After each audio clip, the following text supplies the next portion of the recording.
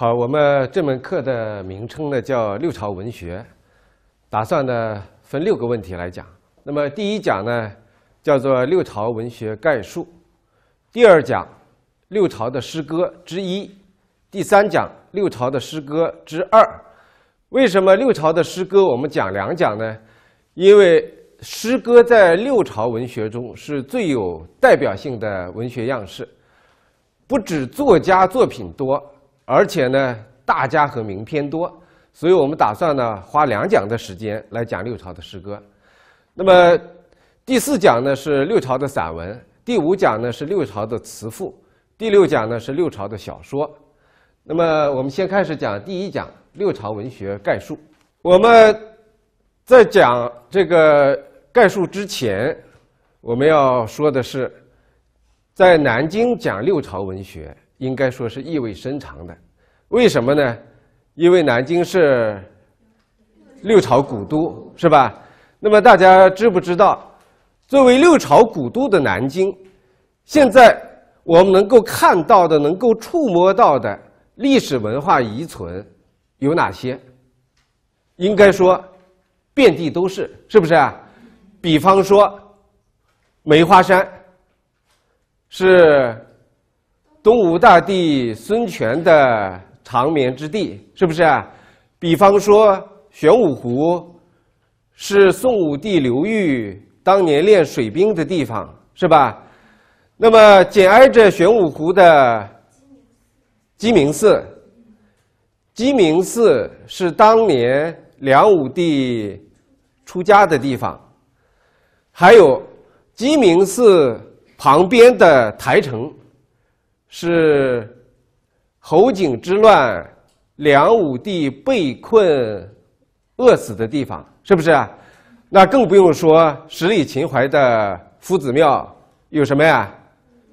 有乌衣巷，有朱雀桥，还有什么呢？王谢古居等等，是吧？所以我们走在南京的大街小巷，仿佛呢始终走不出六朝的包裹之中。是吧？所以我们在南京，不管是学习、生活还是工作，常常能够有一种穿越的感觉，是吧？为什么呢？因为南京既是一个现代化的城市，又是一个古老的历史文化名城。风流总被雨打风吹去，六朝的人物和他们的功过是非，早已随着时光的流转。走到了历史大幕的深处。我们还要说的是，六朝如梦鸟空啼，六朝真的远离我们而去了吗？远离我们而去了吗？没有。为什么？因为除了这些可以看得见、可以触摸到的六朝的历史文化遗存之外。那么六朝还给我们留下了非常丰富的学术，特别是文学的遗产，是不是啊？他们在不断的提醒和证明着自己的存在，所以我们今天讲六朝文学，就是为了重温和唤醒六朝文学的繁华和美好。所以，第一讲这个六朝文学概述，我们概括的来讲一下六朝文学的总体情况。第一个问题叫做文化六朝，这是我提出来的一个概念。二零零七年，我在中华书局出了一本书，叫做《六朝论语学研究》。那么讲到六朝的学术文化的变化，那么其中我专门设了一节，提出一个概念，叫做文化六朝。为什么？我们看下边，人们习惯一说到六朝，在一般情况下，就是指在南京建都的六个政权王朝，是不是？这就是从东吴算起，是吧？东吴、东晋，然后南朝的四个朝代：宋、齐、梁、陈。那么我们习惯。把在南京这个地理方位建都的六个政权王朝叫做政治六朝。可是我们研究思想文化，特别是研究文学，我们发现，按照政治六朝的概念来解释许多文学现象，就有问题。所以我们讲六朝文学的时候，我们要把我们的视角既要往前延伸，也要往后接续。那么往前呢，可以延伸到东汉的晚期；往后呢，可以延续到整个隋代。那么这就是文化六朝的时间跨度。大概说来，它比政治六朝的时间的跨度大概要长将近百年。我们这不是为了标新立异，我们之所以这样做，是为了什么呢？是为了整合六朝的文学资源。如果按照政治六朝的概念来理解的话，那么六朝的文学在许多时间的节点上就被什么呢？就被割裂了，就被割裂。原因是什么？原因就是我们知道政权王朝的变化是突变的，是吧？所以这个朝代完了，立马就改朝换代。可是我们知道，思想文化，特别是文学的变化，它是渐变的，就是上一个朝代或者上一个历史时期结束了，作为政权王朝，它不存在了。可是好多作家和文人，他还生活在了下一个朝代或者下一个时期，就是新的历史时期。那么我们就不能够简简单的把它归结为。是以前的旧朝，而不是新朝的人物，所以这个文学的发展和变化，经常要凭借它自身的惯性，还要往后来延续，这就是我们提出“文化六朝”这个概念的原因。那么，著名学者庞朴先生他说过一段文化中国的论述，他说：“他说文化中国，这是春秋时期。”政治家和思想家们的一个伟大理想。为什么这样说呢？他接着说：“他说，当时他们所谓的中国，既不是一个地理概念，又不是一个政治概念，也不是一个种族概念，而是一个文化的概念。那么，我们可以把庞朴先生的这个说法呢，我们套用他的说法，稍微做一点改动来说，说文化六朝这个概念。”那么我们就可以说，六朝既是一个地理概念，又是一个政治概念。我们看这两个因素加起来，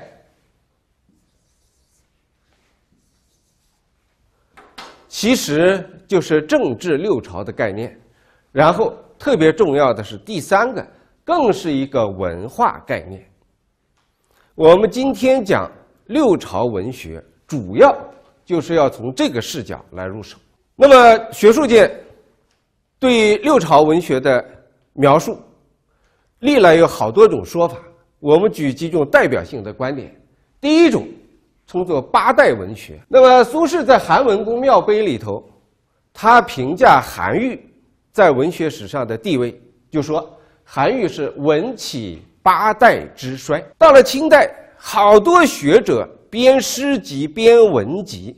都沿用了八代的概念，比方说刘逢禄编了八代文苑，陆奎勋编了八代诗魁，张守编了八代诗陶，王凯运编了八代诗选等等啊，这是一种说法，叫八代文学。那么第二种说法叫中古文学。刘师培，刘师培先生是我们江苏仪征人，这个生前呢是北大的教授，他尽管啊，你这个年寿不高。但是呢，他著作等身，他有一本非常有名的研究六朝文学的著作，就叫做《中古文学史》。那么后来的北大的教授王尧先生，也有一本关于六朝学术研究的著作，叫做《中古文学史论》啊，这是第二种说法，叫中古文学。第三种叫做魏晋南北朝文学，这是我们最熟悉的一种说法，有的时候呢也叫。汉魏六朝文学，比如说著名的学者胡国瑞先生，那么有一本断代史的文学书、文学史著作，就叫做《魏晋南北朝文学史》。那么我们上文学史课的时候用的通行的教材，就是袁行霈先生主编的《中国文学史》，第二卷的第三编也叫做魏晋南北朝文学，啊，这是魏晋南北朝文学的说法。那么汉魏六朝文学的说法，比方说徐退元先生，他选著了一本中国的赋集，叫做《汉魏六朝赋选》，等等吧，就是比较啊，人们比较了解的，大概有这样的几种说法。其实尽管说法不一样，那么他们所表述的内涵是比较接近。好，第二个问题，我们讲一下时代与文学的关联。总的来说，六朝是继春秋战国之后，中国又一段时间跨度大概四百多年的所谓乱世。所以，这个改朝换代在六朝就像家常事一样。那么，当然我们就知道它的社会和时代的特点，那就是动荡、分裂，是吧？那么，与时代社会动荡分裂特点相联系的思想文化，却是自由的、开放的、发展的。为什么？其实，我们如果研究中国历史的话，就会发现有一个规律。什么规律呢？如果是一个政局稳定的、统一的王朝的时候，在思想方面的建树常常是不大行的。为什么一个统一的、稳定的王朝，常常在思想意志上要实行什么呢？比较严格的控制。反之，在动荡分裂的时代，我们知道，不管是政客还是军阀，他们忙于什么呢？争夺天下，是不是啊？所以，思想、文化、文学、艺术，就在动荡分裂的空隙。潜滋暗长，所以和六朝这个时代动荡分裂的特点形成对比的是思想自由解放，文学艺术大放异彩。那么我们可以总结一下，六朝文学的发展和繁荣，典型的印证了政治与文学发展变化的不平衡规律。我们。通常的认为，这个如果政局稳定、社会风气也非常正常的情况之下，好像思想文化，特别是文学发展的非常好，甚至有的时候会达到发达的程度。我们知道，好多时候是这样的，但是许多时候不是这样的。比方说六朝时候就不是这样的，就是时代是动荡分裂的，而文学呢却是发展和繁荣的。我们把它叫做。不平衡规律。下边呢，我们引述几个代表性的观点。那么，第一个观点是台湾的著名学者许竹云先生的看法。他说：“虽然中古早期常常被称为中国史上的黑暗时代，现在呢，我们经常不这样说了，我们不叫黑暗时代了，我们叫做分裂时代，就是这个意思呢，比较中性一些。”然后许先生说：“事实上，那乃是在艺术。”文学、哲学、科学技术等等方面完成重要贡献的最重大的时代之一。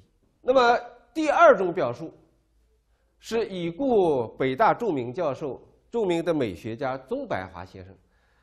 宗白华先生呢，他有一本书非常有名，叫做《易经》。《易经》里头呢，有一篇论文也非常有名，叫做《论世说新语和晋人的美》。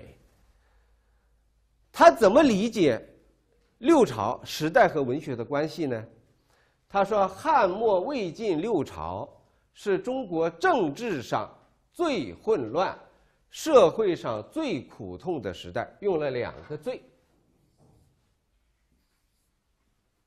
然后一转，他说：“然而，却是精神史上极自由、极解放。”用了两个“极”。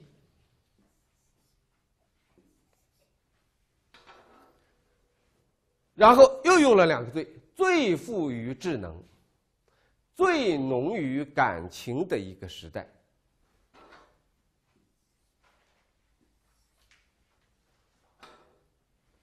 好，第三种看法，对六朝啊时代和文学关系的理解，是刘大杰先生。刘大杰先生呢是复旦大学的已故著名教授，他也是文学史家。他怎么说呢？他说魏晋时代，无论在学术的研究上，这是一个方面，学术研究；第二个方面，文艺的创作上；第三个方面，人生的伦理道德上。把这几个方面合在一起，有一个共同的特征，是什么呢？关键词是两个，一个叫做解放，一个叫做自由。所以六朝文学之所以发展的好，就是因为什么呢？有解放和自由的空气和环境。好，第三个问题，六朝文学的特征。高尔基说，文学即人学，就是文学。是反映人的思想和心理情感的，所以说要了解一个时代的文学的状况，我们就非常有必要先搞清楚人在这个时代他的生存的状态和在这种生存状状态之下他的感受。我们先说结论，可以这样说：六朝人个个有特点，人人有个性。我们都知道，人有个性才可爱，是吧？实际上，生活的经历和经验不断的在告诉我们，人生最快意的事情是什么？就是交有意思的人，干没意思的事儿，是不是啊？我们知道，那就是类似于一种审美的人生，而不是一种世俗的人生。那么可以说，六朝人有许多人。都是过的审美的人生。我们不妨举几个例子来看。第一个例子，对政治极端狂热的，我们举一个曹操。大家都知道，曹操在一篇散文叫做《让县自明本志令》里头说过这样两句名言。他说：“设使天下无有孤，当不知几人称帝。”几人称王？因为我们知道曹操在汉末，特别是东汉倒数的那十几二十年，是一个位高权重的人。那么他后来做到了什么呢？做到了丞相，而且被汉献帝刘协封了魏王。所以孙和刘不止在军事上和他对抗，而且在政治上攻击他，认为他是汉贼，他可能要篡夺天下。那么曹操呢，就发布了这样的一个相当于政府的文书，他不是当写散文来写的，他怎么怎么说呢？他说：“涉使国家无有孤，当不知几人称帝，几人称王。”我们说，作为一个政治人物，曹操说话也好，作文也好，本来应该谨慎一点，是不是啊？本来应该谦虚一点，可是他却毫不客气，不止毫不客气。而且非常的霸气。我们说，这和他对政治的极端热情有非常大的关系。那么，鲁迅先生呢，在政治上就评价说，曹操是一个很有本事的人，至少是一个英雄。这个曹操呢，我们第二讲讲到六朝的诗歌的时候，我们还要重点讲他。那么，鲁迅在文学上评价曹操，说他是一个改造改造文章的祖师。注意这个地方的文章就是指文学。好，这是一类。我们再看第二类，我把它叫做在生活上娱乐致死的。今天西方有的学者提出来，在电子时代，不只是年轻人，甚至各个年龄段的人，现在看电视、用电脑上网、微信、微博等等，充斥了生活的。点滴的时间，所以西方有的学者就批评我们今天这个时代已经是一个娱乐致死的时代。其实，在六朝时候也有这样的人，《晋书·刘伶传》里头记载，竹林七贤之一的刘伶，大家都知道刘伶是好喝酒的，所以呢，关于中国酒的起源，其中民间也有一种说法是刘伶造酒，是吧？那么，《晋书·刘伶传》怎么记载呢？说刘伶放情肆志，就是非常放纵自己，活得随心所欲。长乘路车，携一壶酒。这一壶呢，有小有大，可能是一坛酒很大，或者是一缸酒。使人喝叉，这个字读叉，这个叉呀，大概就是锄头一类的东西，大概是带着一个书童啊，让书童呢在肩上扛一个锄头，叫喝叉而随之，跟随着他。然后他走到哪里，喝到哪里。他就嘱咐这个书童，谓曰：“死便埋我。”说我在哪个地方喝死了，你在哪个地方就挖坑，把我就地掩埋。我们看娱乐致死。好，再看第三类，我把它叫做爱文学超过爱政治的。这我们就要说到《世说新语》的作者刘义庆。回头我们再讲到第六讲六朝的小说的时候，我们会重点讲《世说新语》和刘义庆。那么在这儿呢，我们把它作为一个例子来看。这个刘义庆呢，他是一个贵族。为什么说他是贵族呢？他是宋武帝刘裕的侄子，后来他封了临川王，也做过尚书左仆射、中书令这样类似宰相、副宰相的官，所以我们知道他的政治地位很高。可是他对政治不感兴趣，对什么感兴趣呢？对文学，因为他是贵族。他的财富很多，所以在他门下呢养了一批食客，所以食客啊这两个字，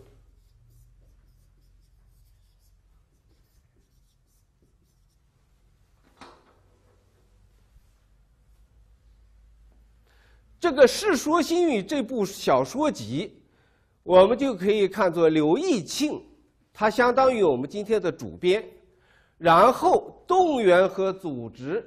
他门下的食客，一起把它记录编纂而成。那么《宋书》的《刘道规传》里头就记载，他爱好文学到什么程度呢？寡事欲，对其他事情，特别对政治不感兴趣，爱好文艺，怎么做呢？招聚文学之士，近远避之。所以我们说，在他的门下网罗了大批的有文学才华的食客。那么后来呢，就编成了《世说新语》。这是第三类，第四类，我把它叫做爱美人胜过爱江山的。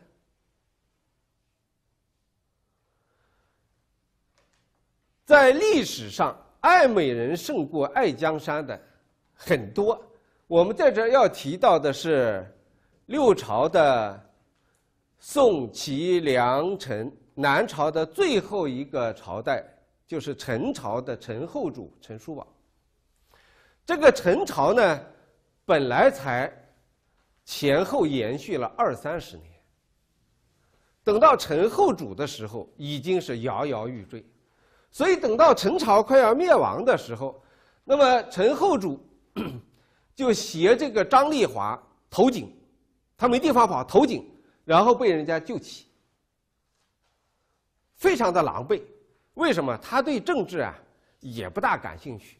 所以，像这个陈后主陈叔宝啊，像南唐后主李煜啊，我们说其实他们有点入错行的意思，是不是？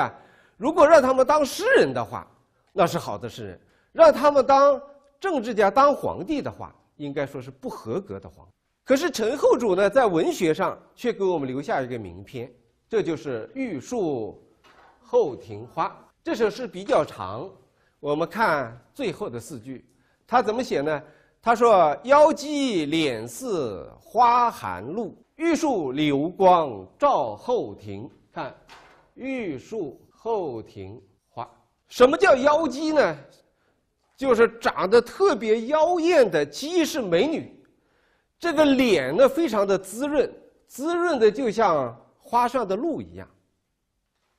然后他说：玉树流光照后庭。”花开花落不长久，落红满地归寂中。这好像有点一语成谶的意思了，是不是？花开花落不长久，你看他的朝廷呢也不长久，落红满地归寂中。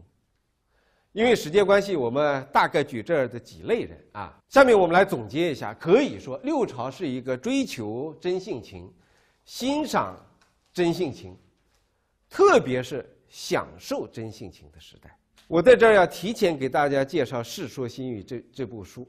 这部书呢，我们一般叫做小说集。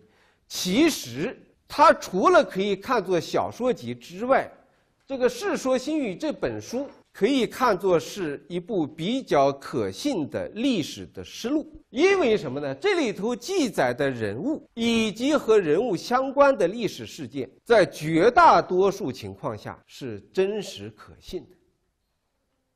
所以，我们也可以把《世说新语》看作是六朝人物的一个画廊。我们走到这个画廊里头，经常被它所吸引，啊，有的时候会流连忘返。陶醉不已，就是这本书呢非常有意思。我们一个人在那儿读，经常会发出会心的微笑。为什么？因为这里头记载的人、记载的事儿，实在太有趣味了，太有趣味了。这个趣味就是什么呢？我们能看到啊，各色人等，看到他们活得非常的有性情，饮酒服药、清谈作诗、著述。成为六朝的时代风尚。这个除了《世说新语》，我们可以看到，那么别的典籍的记载，我们也可以看到当时的时代风尚。那么那个时候为什么有那么多的饮酒服药呢？或者是醉生梦死，或者是及时行乐，或者是全身避祸，或者是既傲犹先。所以不同的人的饮酒或者是服药，他们的取向是不一样的。我们要特别说一下作诗、著述以及和作诗著述相关联的，大家很熟悉的六朝的清谈，成为了当时世人的生活方式。我们简单说一下清谈，特别集中的记载在《世说新语》里头，《世说新语》里头记载到记载六朝的清谈，这个清谈的人物。他们谈的热闹到什么程度呢？饭上来了之后，这个饭冷了，他们谈的热闹顾不上吃饭，然后拿下去，过一会儿热好了再拿上来，如是者三。而且他们在清谈的时候呢，还喜欢用一个道具，叫做煮。这个煮就是什么呢？就是公鹿的尾巴做成，就是不停的挥煮，挥煮而谈。所以呢，我们要想真切的、生动的、形象的理解六朝士人的生活方式，也请大家走进《世说新语》。所以到后来两三百年之后，到了唐代的杜甫，他都非常羡慕六朝人的生活，特别是士人的生活。他有一首诗啊，叫《可惜》。他这样写：“他说，宽心应是酒，浅信莫过诗。此意陶潜简，无声后汝期。恨不能和六朝人同时。”那么，六朝文学的特征，我把它概括为四个方面，每个方面呢，用八个字来概括。先看特征之一，叫做玄心、洞见、妙赏、深情。这八个字是谁说的呢？是冯友兰先生在《南渡集》里头提出来的。他认为这是魏晋风流的四个要素，而且他认为魏晋风流在本质上是一种人格的美。我们简单的来讲一下，什么叫玄心？什么叫洞见？什么叫妙赏？什么叫深情？什么叫玄心？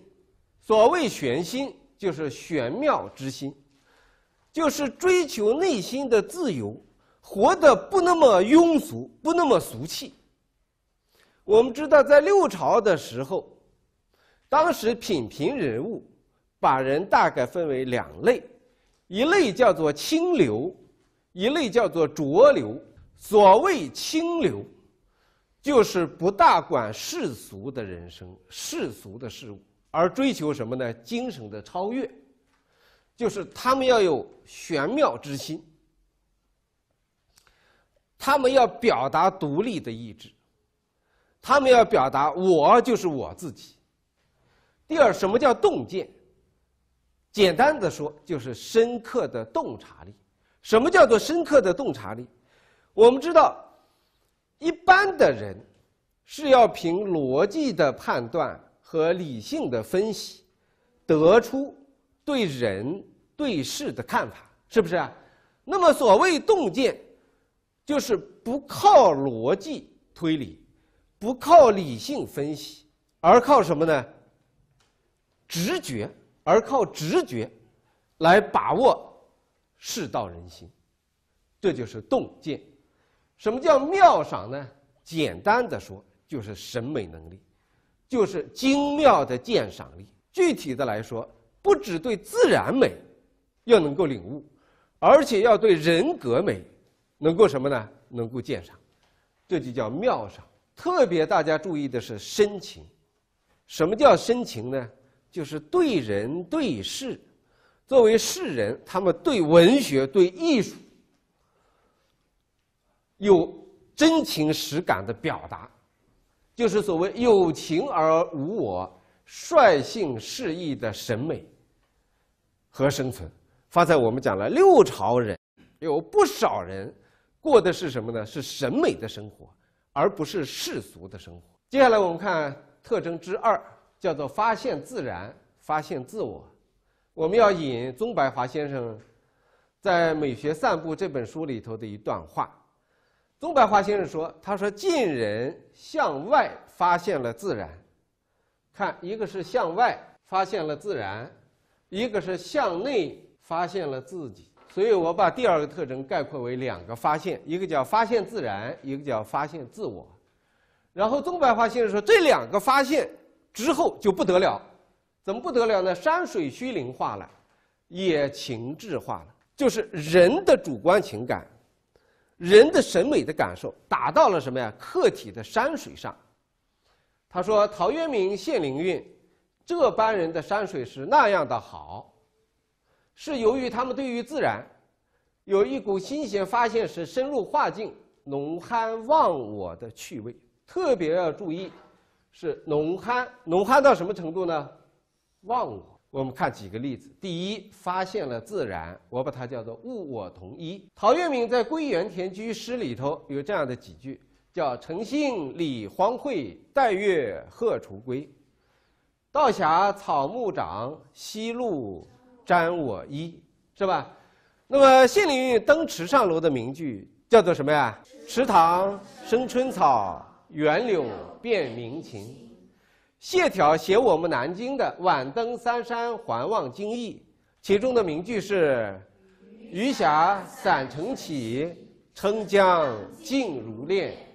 好，我们再看一段《世说新语》里头，《世说新语》的言语篇记载：顾长康从会稽还，人问山川之美，说会稽那个地方的山川，人们说是很美，你给我描述一下。顾云。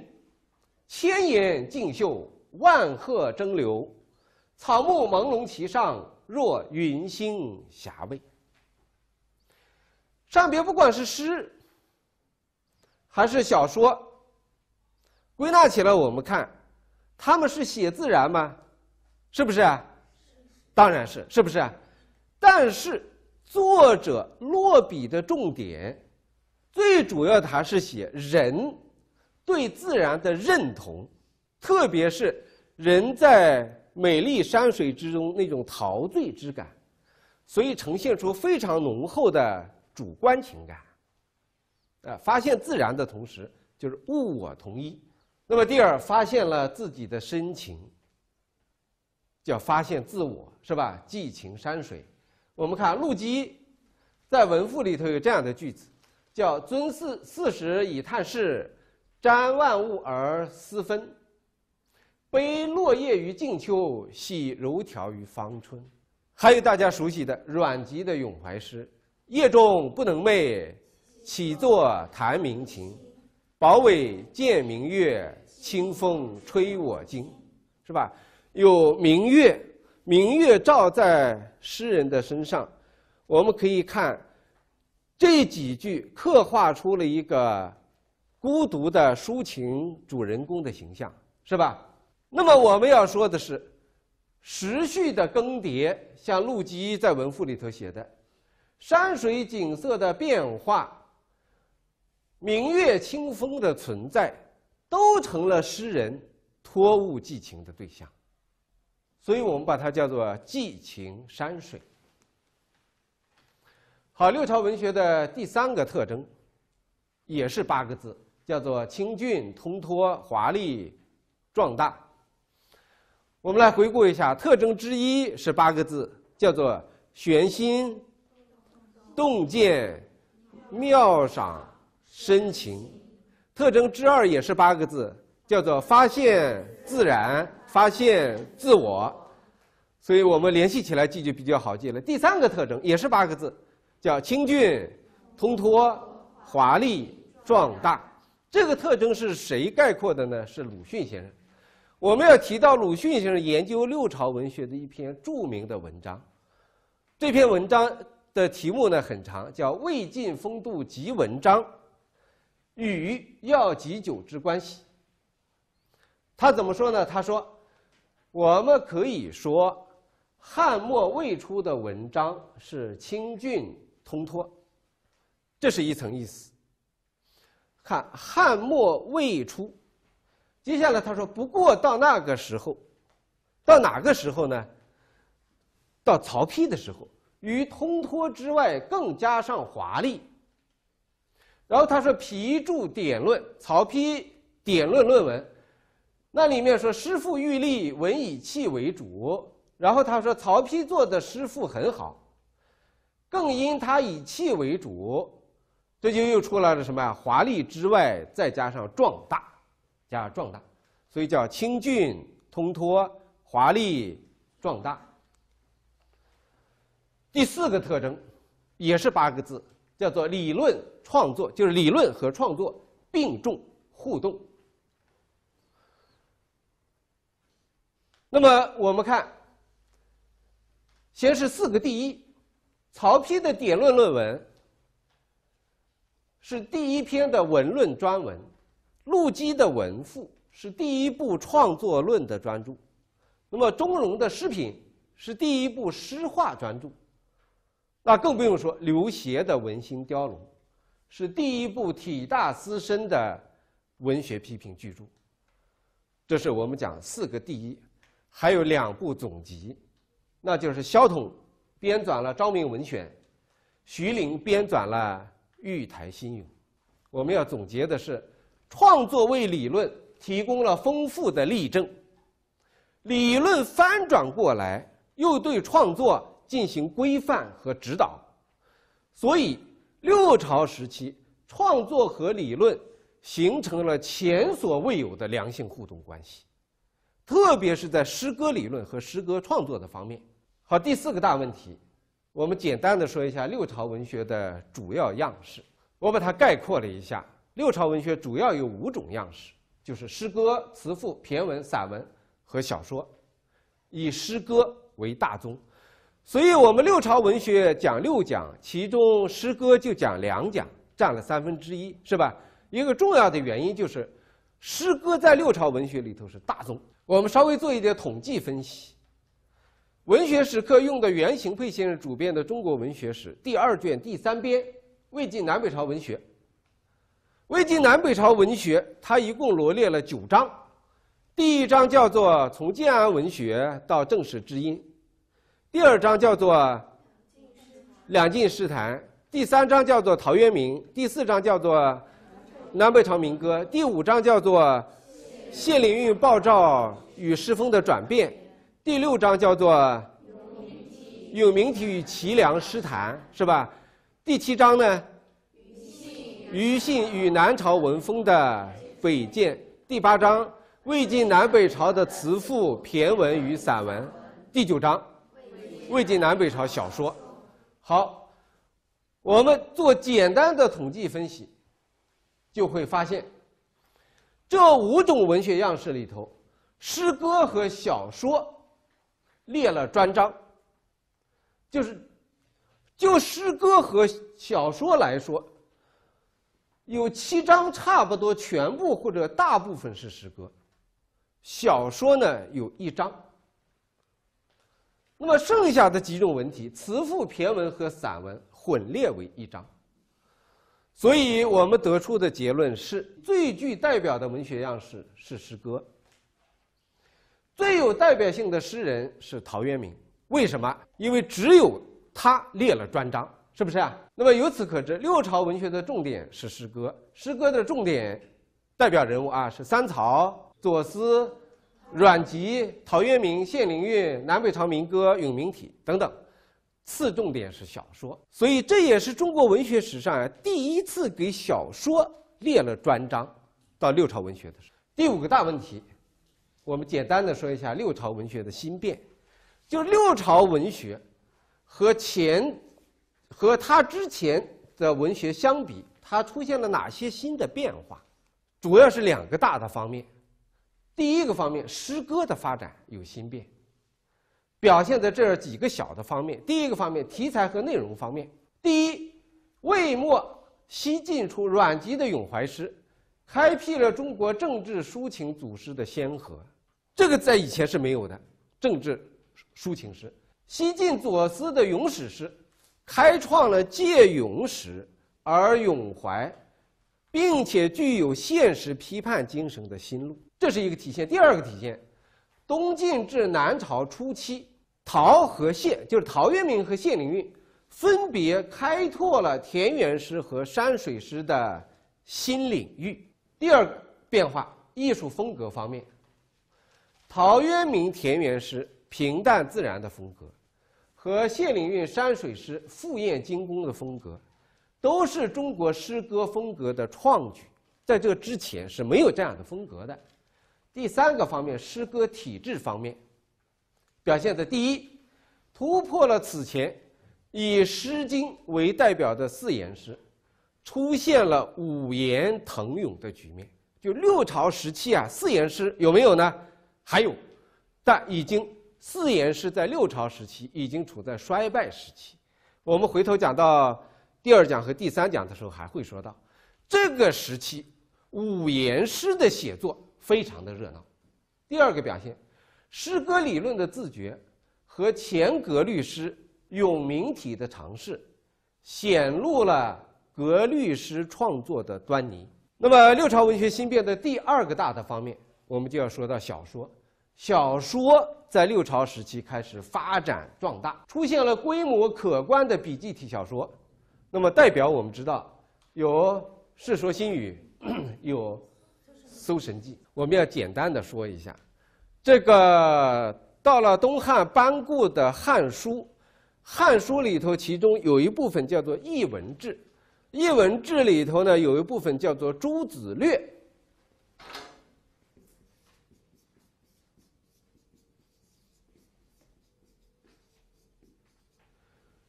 诸子略》里头一共收了三千多个作品。那么小说呢有多少呢？有一千三百八十篇，但是到六朝的时候，有多少呢？遗留下来多少呢？就只有一篇了，都亡佚掉了。我们为什么要特别讲到这个事实呢？就是说小说在六朝之前，那么在班固《汉书艺文志》里头，我们看收录了那么多，那么总括起来是十五家。可是为什么后来留存的特别少呢？就是小说在九流十家里头是不入流的，是人们看不起的。